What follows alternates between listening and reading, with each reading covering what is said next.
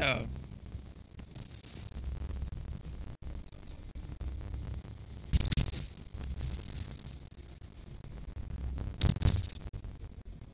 Ha! Got him. you can't escape me, Mr. Brute.